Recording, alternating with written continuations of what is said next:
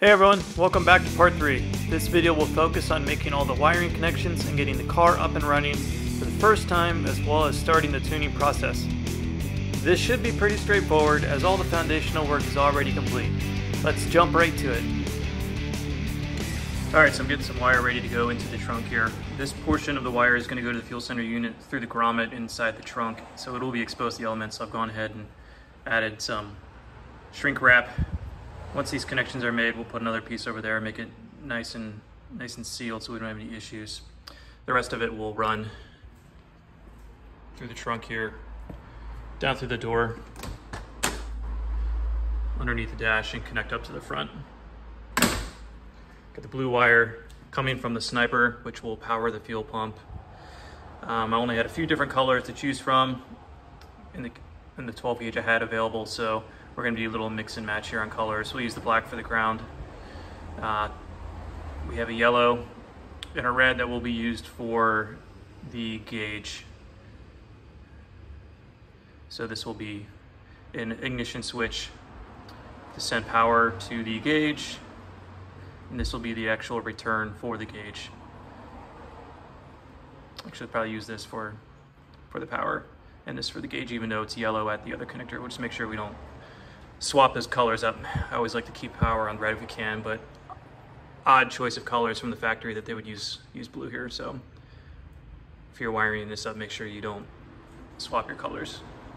Here we feed the shrink wrapped portion of the four wires through the trunk grommet, popping out right next to the power antenna.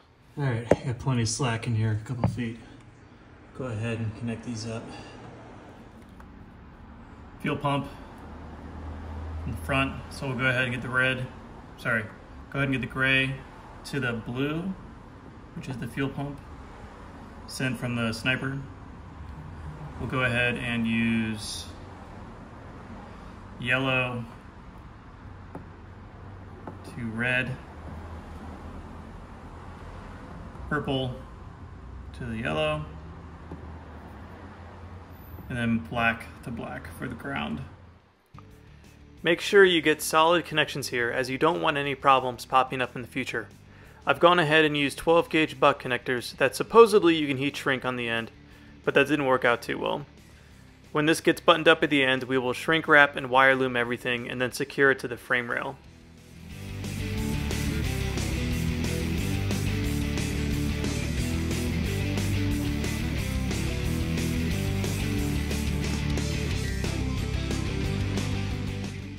All right, so we got the wires in, connected. I'm just gonna run them down here.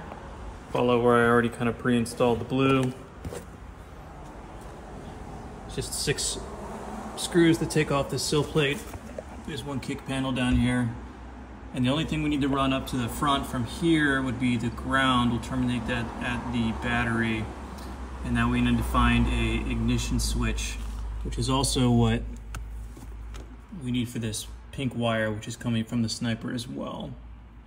Ignore this red wire. This is from a stereo system the guy previous owner had put in that is not working right, so I've disconnected it. We'll also have to tie into the fuel gauge, tap into that wire since I did not use the factory wiring from the trunk. So this part is super straightforward. With the sill plate and a few trim pieces removed, I can easily pull back the carpet and hide the wiring. About every 20 inches or so, I tape the wire run to keep everything a little tighter as I move along the install.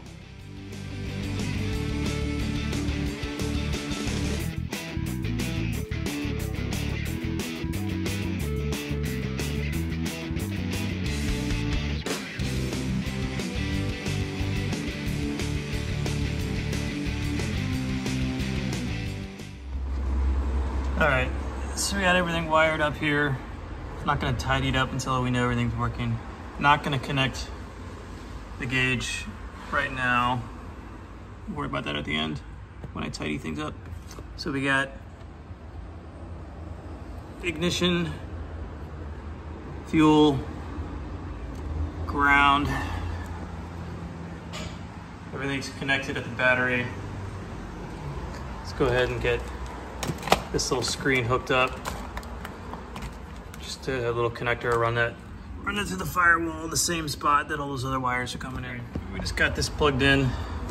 Just a quick little connector. Let's see if see if we get life.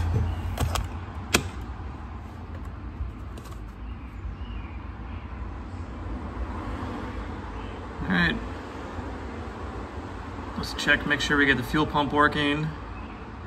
And then kind of clean things up over there, get the throttle body clear of anything and make sure everything's hooked up and safe and fire it up. Let's go ahead and get started.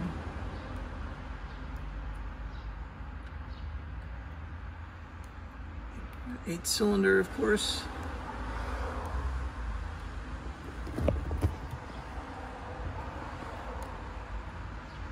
It's a 327.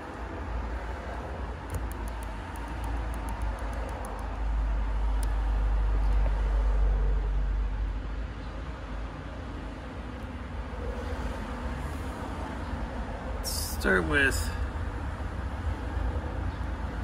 750 target idle speed. Stock mild cam no supercharger. Gonna run off the coil negative.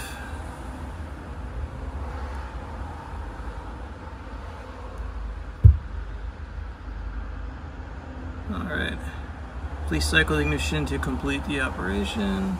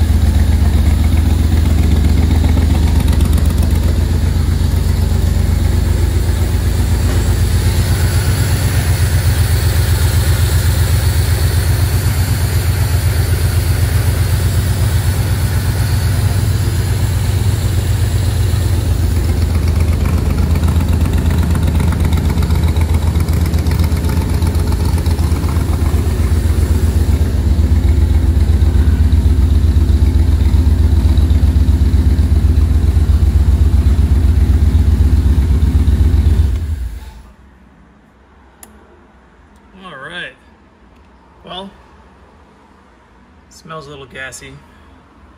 Running a little rough, but I'm sure it's got to do its thing.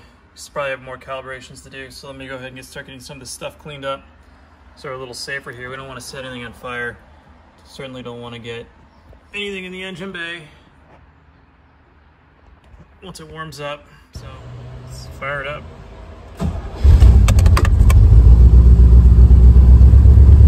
Definitely need to get a mount for this.